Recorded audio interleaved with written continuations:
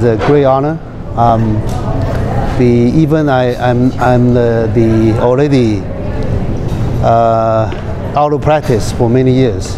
I, I was oncologist, but the I actually quit the, my my practice in 80. Uh, now I recall 85. So the 86 actually. So it's many years, but I doing a lot of research, uh, mostly research, uh, cancer research and the, especially cancer immunology research, immuno-oncology research. So this is a great honor because this, uh, this is uh, obviously know, honor uh, and, uh, and, a, and a great uh, recognition. Um, you know, appreciate by the field. I think that's great. Feel great.